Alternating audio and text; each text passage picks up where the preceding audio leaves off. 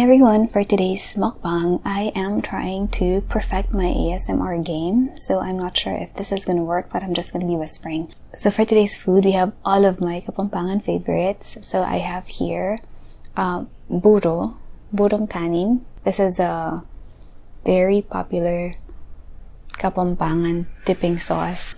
For the dipping sauce for the buro, we use it a lot for vegetables like talong, and then I have mustasa. And then over here, I also always have this at home. We have, uh, we call this labanos salad, so it's just labanos and tomatoes, tapos may patis, and then I have dilis and a lot of rice. I put in a lot of rice because in my last mukbang, I think, nakulang ako sa rice, so I guess, let's eat! Tapos magkakamay lang din ako because, you know, it's always the best way to go. 嗯。